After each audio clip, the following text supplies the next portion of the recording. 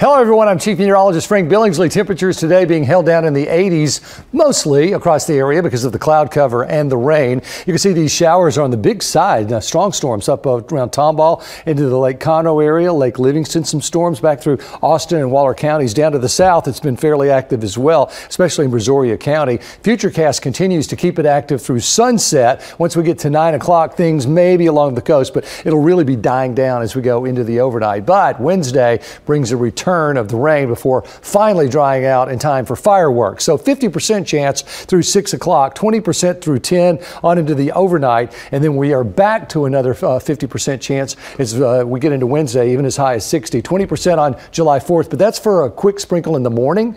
Everything will clear out by the afternoon. And look at that hot forecast. Dry Friday, Saturday, Sunday, 94 to 96.